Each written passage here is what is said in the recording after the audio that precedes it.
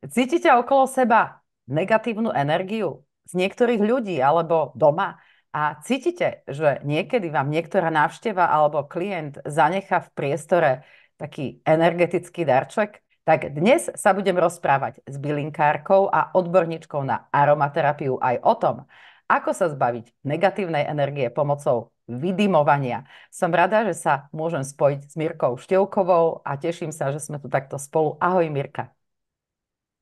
Všetkých pozdravujem, ďakujem veľmi pekne za pozvanie na túto veľmi zaujímavú výživnú tému.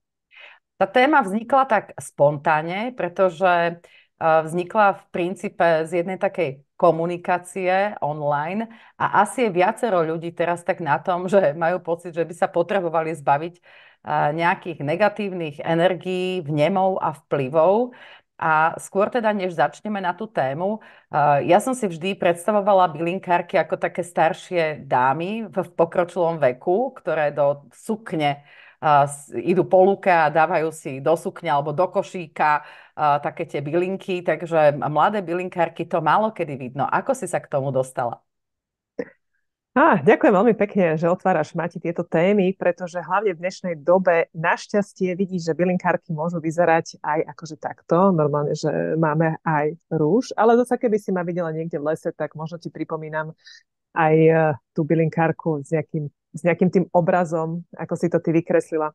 No, ja som sa k tomu dostala uh, akoby nič, ako ja hovorím, tým, že sme natočili spolu aj predtým dva veľmi výživné a podľa mňa edukatívne podcasty na tému, ako sa zbaviť toxicity.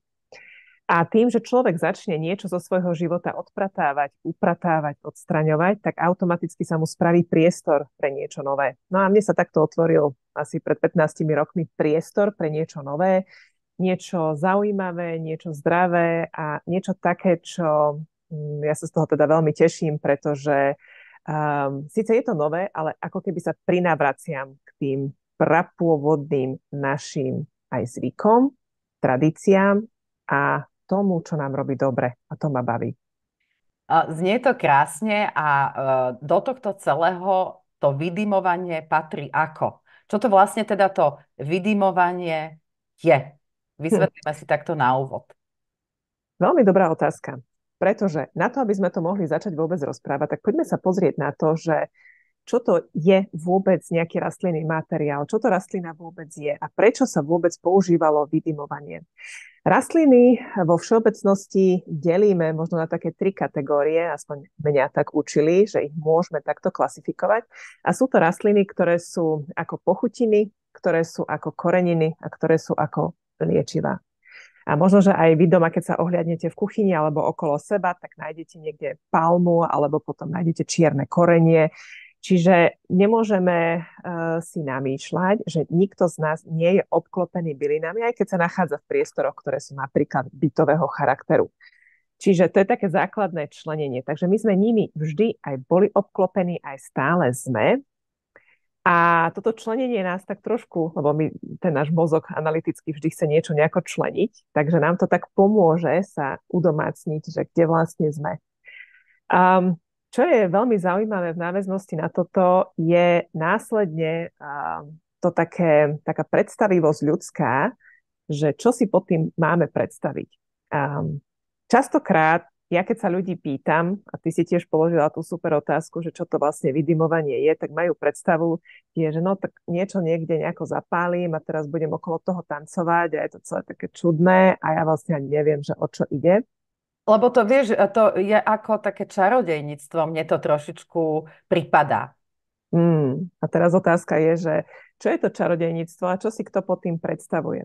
Väčšinou podľa mojich skúseností, tak sú to tzv. že čarovné deje. Čiže deje sa niečo, na čo my nemáme nejakú odpoveď, alebo deje sa niečo, čo my našim súčasným mozgom a súčasným poznaním, alebo to, čo máme naštudované, si nevieme vysvetliť.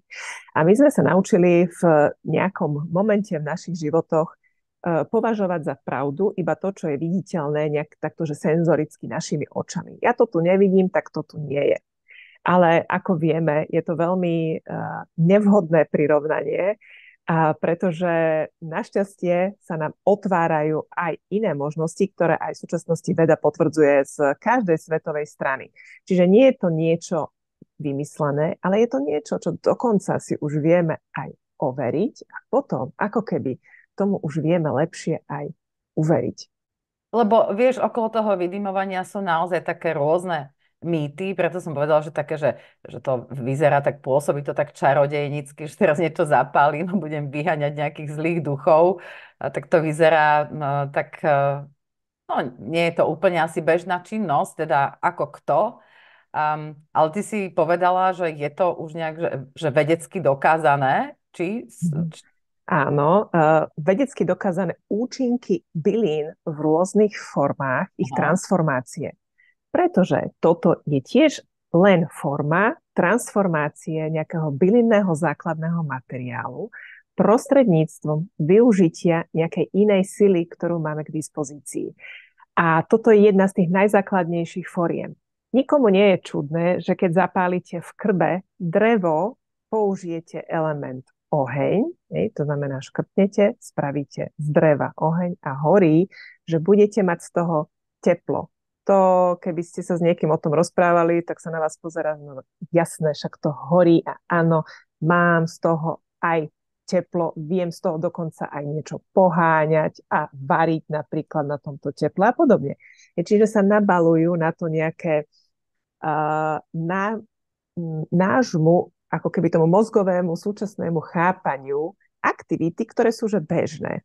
A teraz, keď sa pozrieme na to z toho iného uhla pohľadu, keď aktivujeme element vody a dáme ju zohriať, spravíme si z byliny čaj.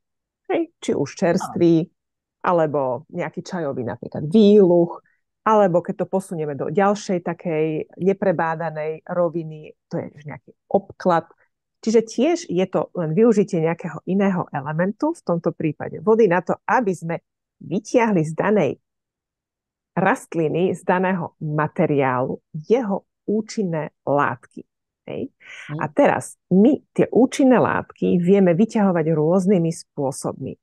A toto, čo som povedala, už sme si na to zvykli, je to také, že bežné a že to robia všetci, tak nám to príde, že normálne. Nečudujeme sa nad tým, keď si niekto zaleje bylinkový čaj. Nie, tu už je tak, no, čiže to nám príde bežné, už aj keď si ten obklad spraví. No a teraz nám príde e, čudné, že použije tento bylinný rastlinný materiál tým, že ho zapáli. Lebo tam prebiehajú iné procesy, ktoré nevidíme našim zmyslom okom, ale vieme ho nacítiť inými zmyslami, ktoré, keď máme teda tak trošku vycibrené a že už naozaj nie sme tak zahotení toxicitou, o ktorej sme sa rozprávali v minulosti, tak to vieme lepšie nacítiť. No, a teraz, keď sa bavíme aj o tom, že nacítiť, tak je to také zvláštne, lebo ja sa častokrát stretávam s tým, že ľudia povedia, že ale veď to smrdí, veď ako to, však to nemôžem doma páliť, že môjmu manželovi to smrdí. Ten, keď sa na mňa pozrie, že ja tu chodím s nejakou zapálenou paličkou, tak si klepe po čele a podobne. Ej, čiže to je také... No práve, také, preto, že... práve preto som chcela urobiť aj túto epizódu, lebo Uh, zaprvé, ja úplne dobre nerozumiem tomu vydimovaniu. Raz som to doma skúšala, tiež som, neviem, či som to robila správne, takže verím, že ľuďom aj vysvetlíme takým, čo sú že začiatočníci, uh, že ako to robiť, čo to robiť a tak, ale zároveň vie, že ako je tá spoločnosť rozdelená, niekedy sme aj v tých rodinách rozdelení a ako počúvam, tak aj v oblasti vydimovania, že jeden by vydimovať chcel, ale druhý v tom nevidí zmysel. Takže možno, že začneme to spájanie spoločnosti cez tému vydimovanie, že vlastne rodiny príslušníci pochopia doma, že na čo je to dobré a prestanú sa jeden na druhého dívať nejako podozieravo. Takže poďme na to. Pokračujeme. Toto, je, toto sa mi veľmi páči, čo si povedala, pretože uh, oheň spája, oheň nerozdeluje a keď si, keď si to aj vezmeš z historického hľadiska, tak oheň vždy spájal. Keď sa zapálil niekde oheň, zrazu všetci okolo neho sedeli a zrazu začalo byť teplo, zrazu začalo byť dobre, začala byť vráva. Dokonca aj pôvodné krčmy vraj vznikli ako ohrievárne, Aha. kde potom začali čapovať postupne aj nejaké ďalšie nápoje. No, lebo ľudia sa chodili zohrievať, lebo zase e, historicky, ako si to vezmeme, ale aby sme sa nezamotali, tak um, to bolo bežné a bežná aktivita. Čiže opäť to záleží len od úrovne nášho uh, poznania, ako sa k tomuto postavíme. Keď nevieme o tom nič, tak väčšinou je naša téma alebo nejaká téma taká, že čo, čo to robí, že potrebujem k tomu viacej informácií. Čiže ja vždy hovorím aj, máme 21. storočie, čokoľvek sa dá online doštudovať, tak nájdete si k tomu informácie. Sú bežne všade dostupné. To, že im nerozumieme v nejakom momente, neznamená, že im nerozumie niekto iný a že to nemôže fungovať. No. A k čomu tam teda dochádza, keď už máme, a ja vezmem, to tu mám pred sebou, aby ste to videli, keď ešte, máme napríklad... E, ešte sa ťa spýtam, dá sa teda to vydimovanie akoby deliť do nejakých kategórií? Ak áno, tak teraz budeme hovoriť o mhm. nejakej konkrétnej kategórii, či všeobecne ešte len ideme tie informácie? Uh-huh.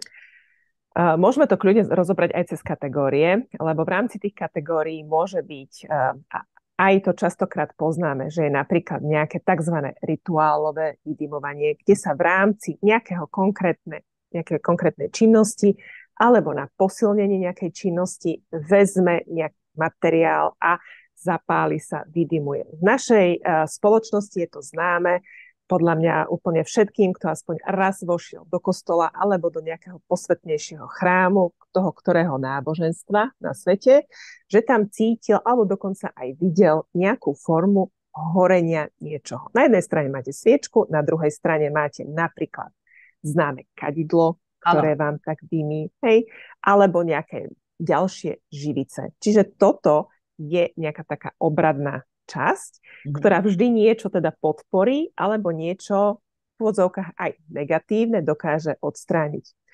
Potom sú to také, že preventívne načistenie nejakých priestorov, um, kde reálne môžete podporiť funkciu daného priestoru, alebo aj ho potrebujete očistiť, napríklad sa stiahujete do nejakého nového priestoru alebo upratujete a vyslovene ešte niečo sa vám žiada, že nielen tou handričkou poutierate a umiete okná. To je síce super, treba, hlavne teraz na jar, ale toto si môžete zobrať ako formu energetickej handričky, ktorou očistíte to, čo vy nevidíte. Lebo tu šmuhu na okne vidíte, ale toto nevidíte. Uh-huh. A keď máme mm, zanesené tie naše zmysly, tak potom s nami robia nezmysly. A nevieme si to uvedomiť. Čiže je to energetické ďalšie čistenie, ale takisto veľmi veľká a dôležitá téma je aj vydimovanie na liečebné účely. Čiže reálne vieme využiť silu rastliny tým, že mení svoju formu, štruktúru, to znamená, že sa transformuje na niečo iné, na tzv. ja tomu hovorím, že my robíme ako keby taký opačný proces, že meníme hmotu na jemnohmotu. Meníme niečo viditeľné na neviditeľné. Mhm. My sme zvyknutí opačný chod mať a niečo neviditeľné meniť na viditeľné. Keď zasadíte paradajku a máte takéto semiačko paradajky, vložíte ho do zeme, tak vy viete, že keď sú vhodné podmienky, tak proste z toho vyrastie paradajka, lebo je to semiačko paradajky. Ale keď meníte niečo viditeľné na niečo neviditeľné, tak je to zrazu pri najmenšom, že čudné. Áno, to, to súhlasím, takže my sme pri tom vydimovaní, takže povedali sme si kategórie, to už sú všetky, ktoré si vlastne spomenula, približne teda také. Všetky určite nie, ale povedzme, že pre tieto účely nám toto delenie určite postačí. Dobre. A ty si teda chcela niečo ukazovať, mhm. respektíve mm-hmm. v tom som ťa vlastne nejako že zastavila. Ja sa ospravedlňujem, ale vieš, pre mňa je toto dosť taká, že nová téma a možno aj pre veľa ľudí tiež, tak nech ideme tak postupne, že ja také tie otázky e, ti budem klásť, možno, že také, že čudné, alebo sa ti budú zdať smiešné, alebo také začiatočnícke, tak nehnevaj sa na mňa, ale verím, že to možno mnohým pomôže lebo tiež sú začiatočníci. Tak, tak pokračujme, kde som ťa uťala. Takže toto je super, lebo ja vždy tvrdím to, že najhoršia otázka je, vieš, ktorá? No, ktorú nepoložíš. Či? Ach, no, ty si úplne, že múdra, takže to vieš. Presne tak. Čiže treba sa pýtať stále. No a ja som teda išla takto šiahnuť rukou. A ja tu mám pripravený taký zväzok bylín, ktorý už bol použitý a bol už využitý. Vidíte, že táto časť už je e, prehorená. Áno. Uh, je skupina ľudí, ktorá bude tvrdiť to, že pokiaľ zhorí časť tejto byliny, už je treba aj zvyšok odhodiť. Je časť ľudí, ktorá tvrdí, že nie, čiže opäť vyberte si, že ku ktorej skupine sa chcete prikloniť, ale pointa je tá, že ako náhle zapálite sušenú bylinu, v tomto sa budeme rozprávať o sušených bylinách, môžete kľudne použiť aj jednu, čiže napríklad nejak jeden, e, jednu stonku rozmarínu sušeného. Častokrát ľudia majú rozmarín aj v záhradkách. Alebo pokiaľ chcete, aby ten účinok bol silnejší, čiže kumulovaný, lebo keď máte niečoho v jednej kope viac, tak horí to aj dlhšie, tak v tom prípade si môžete spraviť takéto jednoduché zväzky. Hej, čiže nejakou bavlnenou šnúročkou, určite nie nejakou toxickou, ale obyčajnou bavlnenou, previažete niekoľko pilín a spravíte si takýto krásny zväzok. No a zapálite a začne to postupne horieť. Tým, ako to horí, tak sa začína meniť hmota na tzv.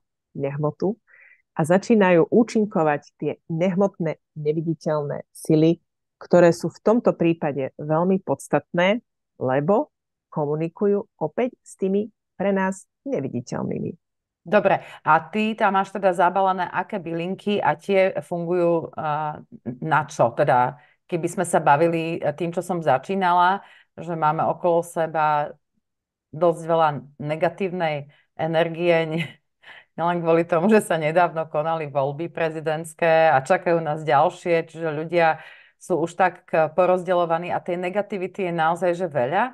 A tak eh, ty tam máš zabalené čo a mohlo by to vlastne fungovať konkrétne na aké veci, povedzme na hádky v rodinách, alebo neviem, akože zase dávam mm-hmm. takúto otázku, mm-hmm. či je správna, neviem, budem čakať na odpoveď.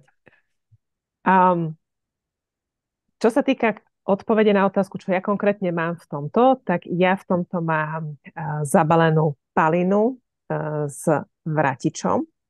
To sú tiež uh, byliny, ktoré sa prirodzene nachádzajú u nás na našej geografickej lokalite, takže je to veľmi príjemné a v podstate sú veľmi rýchlo k dispozícii kedykoľvek, kdekoľvek tá palina možno od nejakého júla, august je taký najsilnejší. Tam máte tzv. alergikov, ktorí potom e, riešia rôzne formy prejavu nejaké, nejakého. Takže ja mám zmiešané tieto dve byliny, ktoré sú vo všeobecnosti považované za veľmi silné čističe, prioritne na tej, ako si povedala, že energetickej úrovni. Lebo viete, že keď je napríklad aj nejaká hádka, tak e, človek vstúpi do miestnosti a cíti tam naozaj, že niečo sa stalo. A nemusí ani byť nejak extra super senzoricky naladený. Proste to cíti. A my energiu to tam je cítiť. Toto cítime. Vieš, čiže toto nám nepríde čudné, keď sa o niečom rozprávame, že je niekde, že husto, alebo niečo sa stalo.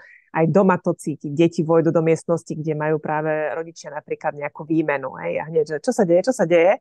A ty sa môžeš usmievať, ale cíti to. My to vieme. No a takto, uh, takto isto si vieme pomôcť aj odstránením alebo očistením týchto všetkých ďalších energií práve vydymovaním takýmito rastlinkami alebo bylinkami. Um, vo všeobecnosti sú to rastliny, ktoré môžeme v podstate Uh, môžeme si to povedať tak, že na Slovensku väčšina rastlín, ktoré sú k dispozícii, sú bezpečné pri používaní na vydymovanie. Tak ako som povedala, že ja tu mám napríklad palinu a uviedla som, že veľa ľudí rôznych je tzv. Že alergických eh, na bylinu, eh, na túto rastlinu v akejkoľvek forme. Čiže bude im vadiť aj dym, bude im vadiť aj tinktúra, bude im vadiť aj čaj alebo olej, čiže musia si dávať pozor. Ale to by sme mohli potom prebrať individuálne alebo v iných podcastoch. A častokrát ja počúvam to, že ľudia používajú iba určitý druh bylín na vydymovanie. Napríklad šalvia. Je notoricky známa, že biela šalvia. A biela. Alebo potom. A, a, a ešte sa chcem spýtať v tej šalvii, a ako zistíš, že ktorá je biela? Ona je naozaj biela? Alebo... Uh-huh. Lebo ja poznám šalviu a ona vyzerá skôr taká zelenkastá. Čiže to nie je tá to, biela? Nie.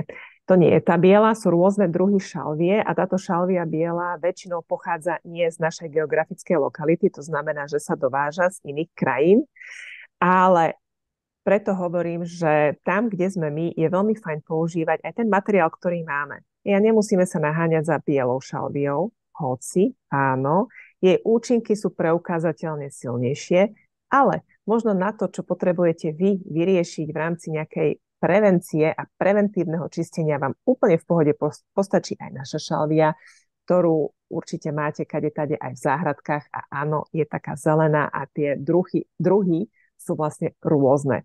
Takže netreba sa toho báť, treba to vyskúšať, lebo hm, ja sa vždy, keď sa rozprávam s ľuďmi, a však aj v tom prvom podcaste som hovorila, že častokrát sa bojíme takých vecí, ktoré iba nepoznáme a tých, na čo sme si zvykli, tak sa vôbec nebojíme, že dáme si do úst nejakú zubnú toxickú pastu, to, to, to nám ani nepríde, že by sme nad tým mali rozmýšľať. Hej. A pritom to je problém. Nie to, že zapálim doma uh, suché steblo nejakej šalvie. A, a treba to vždy takto motať do takýchto, do takýchto kvázi paličiek, alebo ako by som to nazvala, alebo si to človek môže dať povedzme do nejakej nehorlavej nádoby a tam to podpáliť, aj tak vydimovať, alebo ako to technicky vlastne realizovať. Lebo predstavím si, že mám nejak zosušenú tú šalviu alebo palinu, není som na to alergická, ani nikto v rodine. A teraz mm-hmm. akože e, je to treba takto baliť, alebo sa je jedno, a ako sa to zapáli? To balenie tam má veľmi praktickú, ale aj funkčnú formu, pretože toho materiálu, keď ho takto zbalíš a zaviažeš, tak je ho viac, čiže je hutnejší, bude ti aj dlhšie horieť, nebude sa ti trúsiť tak po miestnosti, pretože ja odporúčam určite pre každého v rámci ochrany zdravia a bezpečnosti pri, práce, aby sme, pri práci, aby sme naozaj mali nejaký nehorlavý podkladový materiál, pretože ako náhle to začne horieť, začne sa ti z toho uvoľňovať, začne ti z toho uh, lietať popol alebo ďalší zbytkový materiál, takže aby sme ho pekne zachytili, aby si nemusela potom chodiť a vysávať, čiže aby to bolo pekne na tom mieste, kde to má byť. Ono e, štandardne pri týchto metódach sa používa tzv. rohová vydymovacia metóda. Čiže všade, kde e, je nejaký priestor, kde môže stagnovať, čiže väčšinou je to nejaký rožný priestor, tak sa priblíži, uh, priblíži k tomuto priestoru do rohu a odtiaľ sa rozprúdi daná energia daným dymom. Ty, e, ty robíš takýto pohyb, čiže vlastne akože presne takto nejak tam naháňaš ten dym? Sa roz... mm-hmm. Ja v rámci ilustrácie použijem tento svoj difuzér, pretože nebudem teraz uh, páliť, aby potrebujem sa tu sústrediť a toto je také, že uh, pohodlné, ale ruku som použila na to, aby sa vlastne dým takto dostal do tých kútov, kde sa dostať má. Mhm, čiže nechodím takto, ako len takto akože z rukou, ale vlastne tomu dymu akoby pomáham po tej miestnosti a smerom do rohov. Veľmi správne. Ruka je, vždy, ruka je vždy po ruke, čiže tu vieme vždy použiť. Samozrejme sú na to aj iné formy. E, niektoré civilizácie používali pierka na vydimovanie, čiže aby tam mali ten taký väčší rozsah, aby sa naozaj ten vzduch koncentroval a rozprúdil dym na dané, na dané miesto alebo na danú osobu. Mm-hmm. No, zaujímavé. A až som sa teraz zasekla, že čo, čo sa idem spýtať ďalej. No. Dobre, my sme si prešli teda uh, tie kategórie, teraz sme si povedali ten nejaký základ, že ako je mhm. dobré, uh, keď, uh, keď to máme teda pripravené na to vydimovanie. Ja som uh, tú otázku myslela skôr tak, že keď mám nejakú nehorlavú misku, že do tohoto natrúsim, podpálim a s tým chodím, že, že nemusím to baliť. Presne tak, kľudne môžeš. Vieš, každý človek je iný, máme každý iné preferencie, ale aj toto je úplne že krásna možnosť. Častokrát sa používajú na vydimovanie aj živé byliny, čiže môžu to byť aj živé rastliny, len tam je zase potrebné počítať s tým, že je tam určité množstvo vlhkosti. Čiže nebude to presne tak isto Mrzí horieť. Skôr, nie? Alebo to, mm. to tak hasí sa, nie? Zároveň. Áno, čiže tam je potrebný väčší plameň. A veľmi, uh, veľmi často sa to kedysi aj robievalo v rámci rituálov, napríklad ohňových, že uh, keď sa napríklad na jarnú rovnodennosť, letnú rovnodennosť, jesennú, kde sa do ohňa prikladali bylinky. A to neboli sušené, to boli byliny, ktoré boli nazbierané. Ale tým, že máte napríklad veľkú vatru, tak uh, sa to tam krásne vie rozložiť a v tom prípade dostanete z tej byliny zase inú formu, a iným spôsobom. A samozrejme na iné účely. Ale keď sa bavíme takto o domácich účeloch, tak kľudne to môžete spraviť aj týmto spôsobom, len vždy si dajte pozor, aby ste mali niečo nehorľavé okolo seba. A ja odporúčam určite monitorovať daný, uh, daný dým do takej miery, aby vám to nevzblklo. Čiže naozaj eh, byť obozretný a v rámci svojich možností nenechať to robiť deti a podobne. Čiže aby náhodou niekto nemal milnú predstavu, že teraz si uprostred obývačky zapáli nejaký obrovský plameň a idem natrhať byliny. Proste fakt, že s rozumom. Alebo odíde na nákup. na nákup. Nie, nie, nie, to vôbec nie. To musíte monitorovať, kým to úplne nezhasne. A v ideálnom prípade, keď máte aj takýto zväzok, ako som teraz ukazovala, tak ešte môžete ponoriť do vody. Dobre, aby ste si naozaj boli istí, že je to vydymené teda uh, uhasené a vydymené. A sú um, okrem, okrem tých uh, bylín, ktoré si spomínala, že kto je povedzme na čo alergický, to by ani nemal doma vydymovať, tak existujú ešte aj nejaké byliny, ktoré vlastne všeobecne by sa vôbec nemali na takýto účel používať, že by to mohlo byť, ja neviem, jedovaté alebo... Tak určite sú aj nejaké psychotropné látky alebo psychotropné byliny, ktoré možno každý pozná, sú aj niekde uvedené v zoznamoch. Mm-hmm. O tých sa určite teraz rozprávať nebudeme, takže to by bolo vhodné, aby sme uh, nepálili, lebo následné účinky potom z toho môžu byť takisto ako pri inom užití alebo požití. Takže No, áno. Jasné, rozumiem. Dobre, takže toto by sme si tak prešli a ja keď som vlastne dávala von tú informáciu, že sa budeme venovať vydimovaniu, tak prišli nejaké divacké otázky, tak mám tu hneď prvú. Chcela by som vedieť, či je lepšie vydimovať pri zatvorenom okne a potom vetrať alebo pri otvorenom okne, lebo niekedy, keď pri zatvorenom vydimujem, je mi ťažko v vône a asi aj energii. Hmm. Ja som si to hneď teraz predstavila, ako tam ten človek taký zadimený v tom priestore uh, môže fungovať. Uh, vy, vynikajúca otázka, vždy je potrebné vetrať, pretože potrebujete vy, uh, ak vydimujete, tak je to za nejakým účelom, čiže potrebujete sa zbaviť niečoho potrebujete sa zbaviť nejakej buď negatívnej energie alebo konkrétneho problému a v tom prípade je potrebná cirkulácia vzduchu, čiže ja osobne odporúčam vždy veľmi dobre a intenzívne vetrať. Mm-hmm. Čiže vydymujem a zároveň vetrám, tým pádom príde ani mne zle, ale možno, že aj pani vydymuje s niečím, čo jej vlastne vadí, na čo je možno alergická. Že aj to by mohla um, popremýšľať. To, možno. to je tiež výborná otázka. Eh, častokrát, vieš, tam, tam ide o to, že keď je nám niečo chvíľkovo a naozaj, že napríklad aj veľmi chvíľkovo nepríjemné, my to prisudzujeme tomu, že a ja to nechcem, že to mi robí zlé, alebo zvraštím čelo, že ja som skúšala raz vydimovať nejakú bylinu a nerobilo mi to dobre, ja už to nemôžem robiť. A začala som napríklad kašľať alebo kýchať. No, to je to, že uh, každá bylina má špecifické vlastnosti a špecifické účinky. A teraz otázku si treba možno aj inak položiť. Čo keď tento môj vonkajší prejav je presne ten, ktorý ja v danom momente potrebujem. Čiže potrebujem niečo vykašľať, potrebujem sa z niečoho vysopliť a potrebujem to z tela dostať von. Lebo aktivovala som čistiaci účinok, ktorého vonkajší prejav môže byť aj takýto.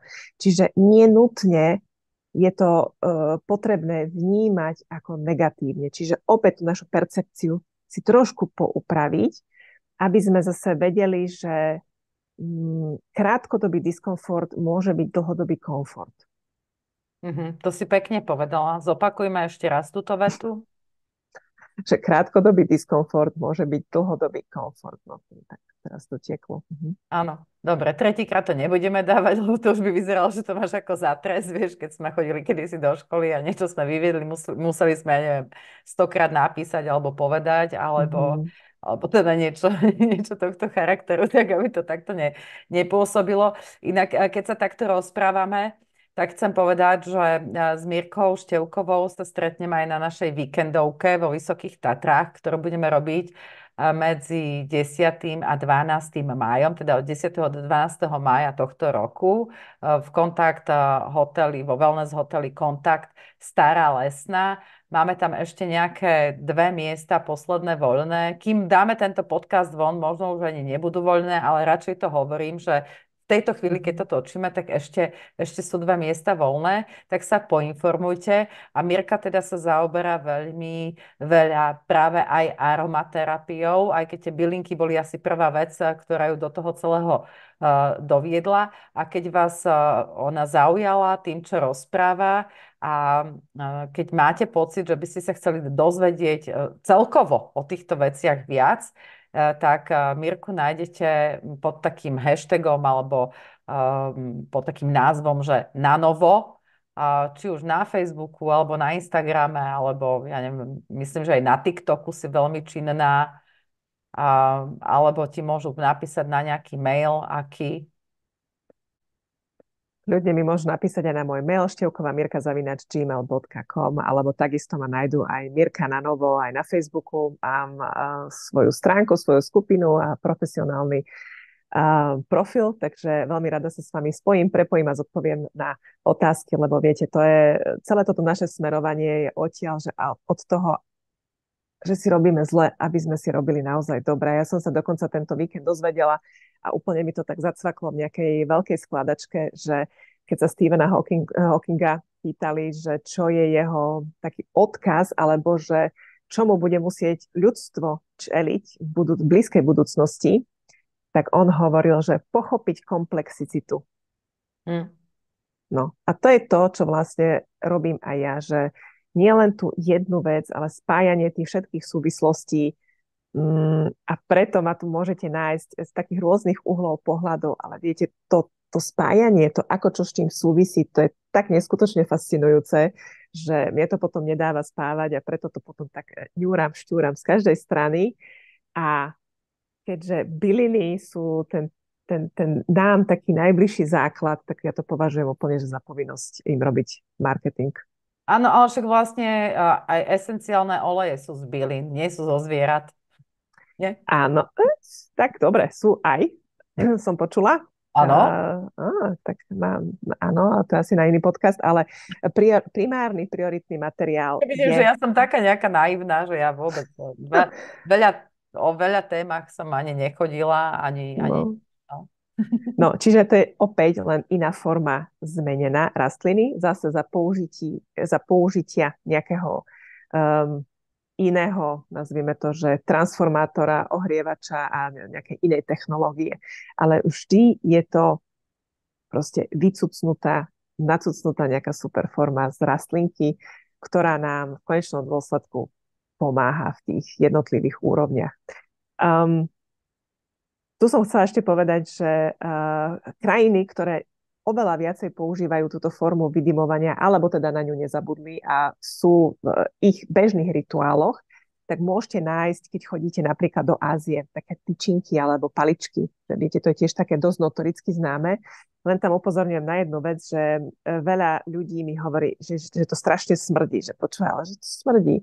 A im hovorím, že bože, vy ste super, lebo máte výborne vyňuchané tie uh, čuchové bunky, pretože áno, častokrát aj toto sa parfumuje, ale nie nejakým prirodzeným prírodným materiálom, ale opäť nejakou syntetikou. Čiže toto, keď budete doma páliť, vždy sa uistíte, že si kúpite naozaj také, ktoré nie sú namočené alebo nasprejované uh, nejakým um, toxickým materiálom, pretože tam človek zase upadne do toho, že ale však ona povedala, že to mám páliť, ja to pálim a teraz to síce kúpite niekde a budete si robiť zase zle.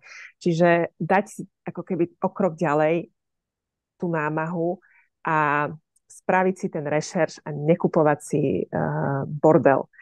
Mm, v arabských zase krajinách, ja som toto minule kúpila, toto je taká raritka, inakšie mne sa to asi už aj pokazilo, uh, sú aj takéto elektronické uh, vydimovače, Aha. ktoré sú určené špeciálne na živice, pretože tam je pôvodná a prirodzená rastlina kadidlo alebo strom kadidlovník, alebo teda mirha, strom mirhovník a z neho sa zbierajú takéto krásne slzičky Čiže tá tekutina zo stromu, ktorá, ktorá takto zoschne a potom následným zahrievaním sa zmení a toto je také, že dosť bezpečné a komfortné. Dá sa to zohnať, keď je tady tiež na internete, takže určite to nájdete. Je to zaujímavé. No a keď to zapálite, začne sa vám z toho dymiť.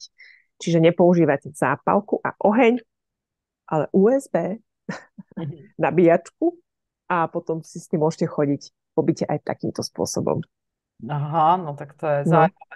Mám tu ďalšie otázky ešte od našich divákov a čitateľov.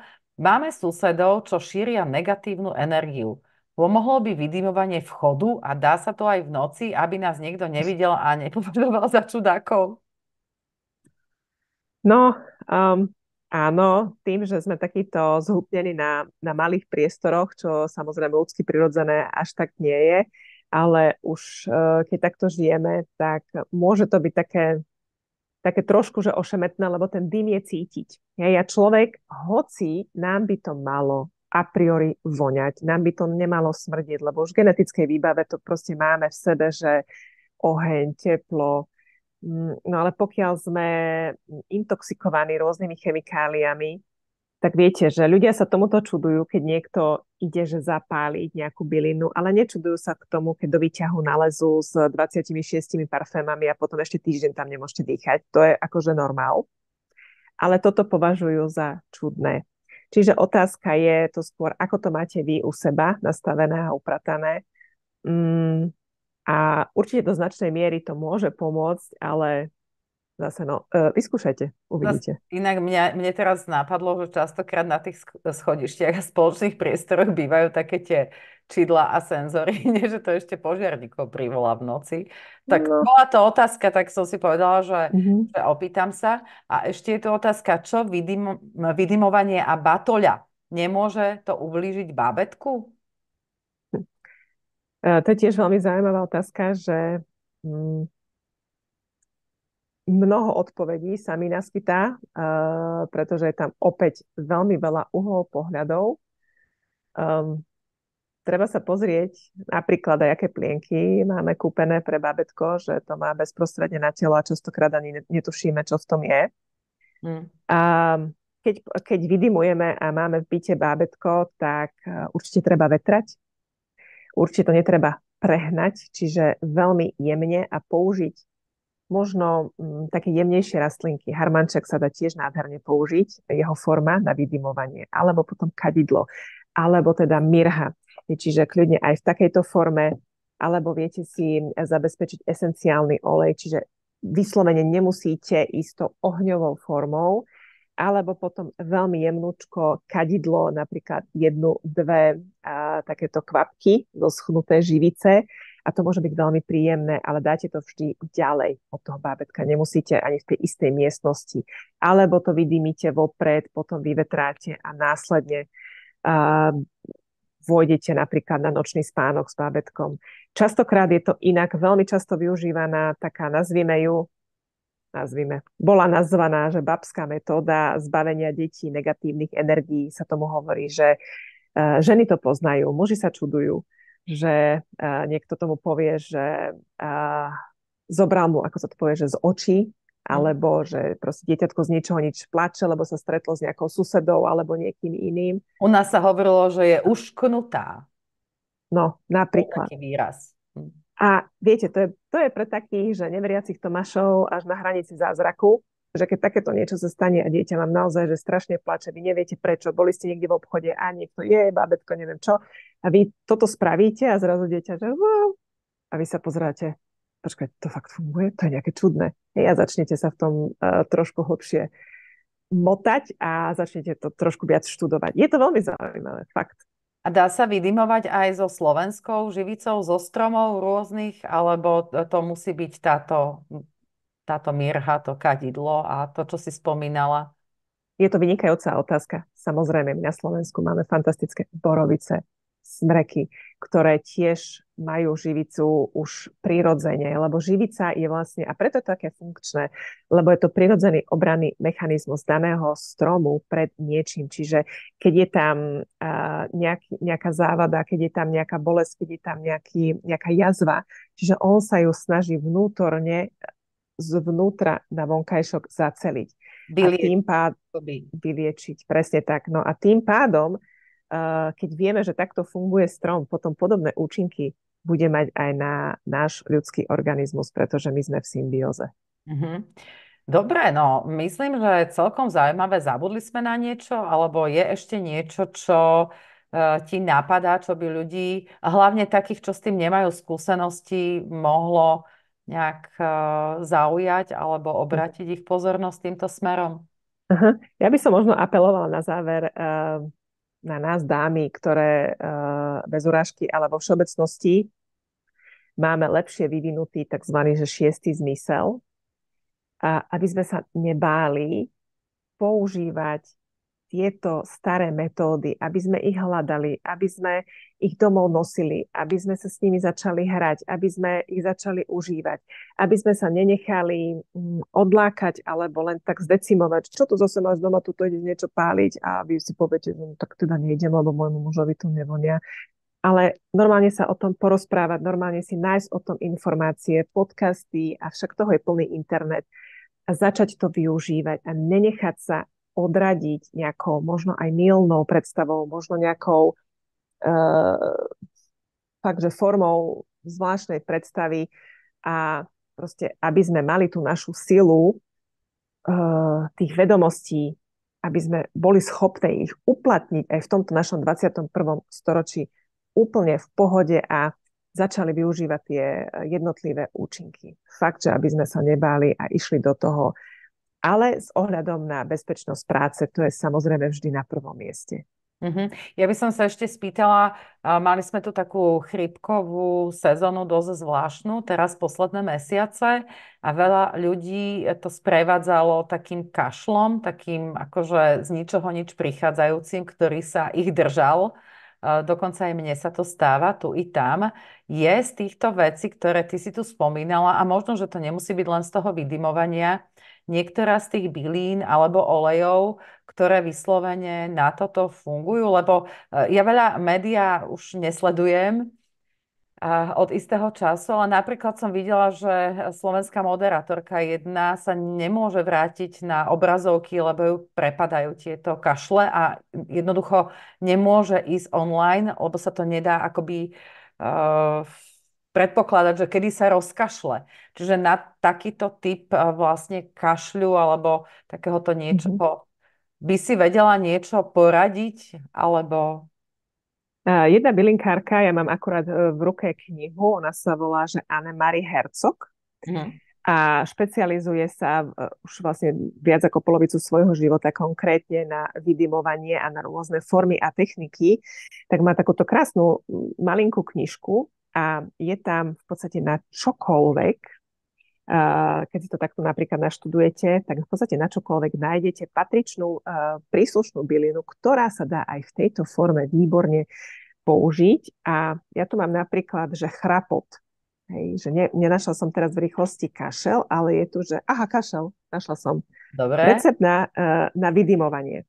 Smreková živica, no, tymián, že sme sa bavili No, no, ešte, ešte. Plúcnik, podbel, sles a skoro cel kopiovitý. Ešte raz, a... povedz, lebo som ti skákala do, do reči, prepáč, sa ospravedlňujem, ale som nevedela, že tam bude toho tak veľa. Takže no, vidíš. smreková Čiže, živica. áno, je to smreková živica, tymián, plúcnik, podbel, sles a skoro cel kopiovitý. Mhm. Toto všetko by človek mal mať, dať to do vedna Áno, pozri, e, toto sú že ideálne stavy a ideálne prípady. Ale netreba sa vždy na to upnúť. Ak máte aj čo i len jednu z týchto bylín, treba využiť aj jednu, pretože m, mm, tak ako sa hovorí, že aj, aj, aj medzi ľuďmi, hej, že v spolupráci je sila, v týme je sila, viacej ľudí dokáže viac ako jeden, tak takisto to majú aj bylinky. Ale zase každá z nich je mm, je určite nejakou formou špecifická. Čiže keď ja si toto otvorím, nájdem takýto zoznam, no tak ja nemám teraz tu jednu, hej, tak nemôžem robiť. Môžete. Alebo mám iba jednu. Spravte to aj s tou jednou, lebo konkrétne vo vašom prípade môže zabrať aj táto jedna. Ale čo je veľmi zaujímavé, že pod týmto sú a možná duševná príčina, hneď to tu máte uvedené, a Aha. potom aj afirmácia. No daj. No, čiže keď už sme pri tom, tak poďme kašel trošku načrtnúť. A teraz, že možná duševná príčina. Vzdávame sa zodpovednosti za svoj vlastný život. Potlačovanie agresivity, niečo zostáva nevyslovené, potrebuje to však byť vy, vyslovené. A afirmácia, to znamená naše myšlienky, ktoré mm, pomáhajú zbaviť sa takéhoto zádušného kašla Zbavujem sa starých záťaží a oslobodzujem sa. Za svoj život si zodpovedám ja sama. A vieme, že myšlienka môže byť hmotná, teda teraz to už vieme, aj predtým to bolo čudné, takže mm, ak my si takéto afirmácie ešte budeme sami sebe rozprávať v našej hlave alebo aj verbalizovať, čiže vyjde to na volok, tak urýchlujeme proces hojenia, uzdravovania, zotavovania, pri ktorom nám veľmi radí tieto byliny všetky, akejkoľvek forme, budú mm, asistovať. Samozrejme, najlepšie, keď sú takto nakombinované, keď už tu máte konkrétne príklady, ale netreba, mm, netreba vzdávať ani tú samostatnú jednu bylinku a proste treba to využiť. Možno forma vydymenia nebude vždy tá najvhodnejšia, možno ich treba aj nakombinovať, napríklad čaj alebo aj obklad alebo aj olej, alebo mm, v nejakej inej forme vnútorného užitia. Čiže je tam toho fakt, že veľa, ale za ďalšie. Nebojte sa, nie je to nejaká že brutálna veda, ktorá sa nedá na jeden klik, na jednu knihu naštudovať. My tu všetko teraz máme, len to poďme použiť. Tak to bol, myslím, že aj pekný nejaký záverečný odkaz. Alebo mm-hmm. ešte chceš niečo dodať? Um, nie, len toto, že aby sme sa prinavrátili k tomu, čo tu máme. Um, aby sme sa nenechali odplašiť možno nejakým prvým alebo druhým alebo aj tretím nejakým čiastočným neúspechom alebo že toto sa mi nepodarilo, mne to tu smrdí. Proste treba v tom pokračovať, treba v tom vytrvať. A keď si to človek na preventívnej báze začne aplikovať do svojho života a nielen, že akútne, že keď už mi je, že uh, úplne zle, tak vtedy viete čo, spravte so mňa hoci čo, no dobre, vieš čo, aj vydým ma, je jedno, lebo častokrát takto máme, ale keď to budeme robiť preventívne, tak neupadneme do, takej, do takéhoto zúfalého akútu. To, to vám určite garantujem. Dobre, Mirka, tak ja myslím, že Uh, už sme povedali tak na prvýkrát všetko, no, čo sa mhm. týka nejakých základov vydymovania a už nech nezdržujeme seba ani ľudí, že hor sa teda do akcie a vyskúšať to. Ja to rozhodne vyskúšam a veľmi pekne ti ďakujem za, to sa veľmi teším. za tvoj čas a za informácie, ktoré, o ktoré si sa podielala nielen so mnou, ale vlastne aj s ľuďmi, ktorí si zapnú podcast od znova. Ďakujem. Ďakujem aj ja. A vám, milí e, moji priatelia, ďakujem. Ďakujem za to, že vás to stále so mnou baví, keby so mnou, ale s mojimi hostiami. A teším sa, lebo sa vám páči, ako si hosti vyberám, aj ako si témy vyberám. A, a že vás to teda takto baví a dáva vám to zmysel. Je to fajn. A budem veľmi rada, keď pošlete informácie v podcaste odznova ďalej aj medzi svojich priateľov a známych a aj tú informáciu, že je možné podporovať tvorbu podcastu odznova aj finančne. Veľmi si to cením. To, ako sa to dá urobiť, nájdete na www.odznova.sk alebo na www.ko.fi.com com lomeno odznova podcast. A keď už nebudete vedieť, ako kľudne, napíšte mi na valachova zavináč 40plus.sk a ja vám pošlem všetky linky a možnosti. Raz mesačne robím v Bratislave aj také živé podujatia, volá sa to Odznova vstaň. A teraz v apríli budeme mať 18. apríla a, stretnutie s dvomi lekármi na tému ostrakizácia a nálepkovanie a príde pán doktor Lakota a pán doktor Fischer a verím, že títo dvaja muži majú, majú čo povedať. A ešte nejaké listky voľné sú a budem sa na vás veľmi tešiť. A víkendovku sme spomínali a keď, keď chcete a viete o tom, že som napísala počas a, uplynulých rokov knihu, ktorá je orientovaná na, finančnú inteligenciu alebo základy toho, ako si budovať finančné rezervy, tak môžete si v rámci podpory podcastu objednať aj túto knihu na www.budeakonebolo.sk. A to je pre túto chvíľu už odo mňa naozaj všetko. Želám vám krásne dni a veľa zdravia, napríklad aj vďaka vydimovaniu.